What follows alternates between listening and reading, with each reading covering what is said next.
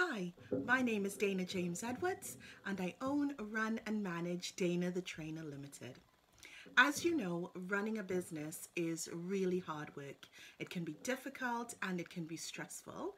And I found myself at a point where I was enjoying enormous success, but I felt like I was barreling through my days, struggling to catch up, to take a breath, I would literally open my eyes in the morning and go straight for the emails, starting to work right away. And I felt like I was constantly chasing myself through my day with no real time to stop.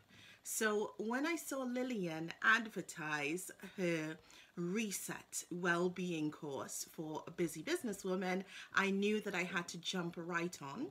But I didn't know then the impact that it would have uh, both on me and my life and my business.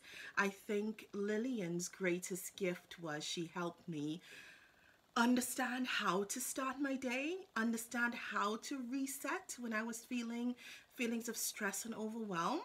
Uh, she also helped me understand how to be resilient and how I could put myself in that correct frame of mind constantly, how I could find it for myself, how I could find it over and over again, and little hints and tips and tricks that you could use just to make changes to the way uh, you live, right? I think what I understand and what I took away the most is that being busy or being able to be so affected by busyness is a choice and we all can make different choices that's better not only for our mental and emotional health, but for our physical health as well.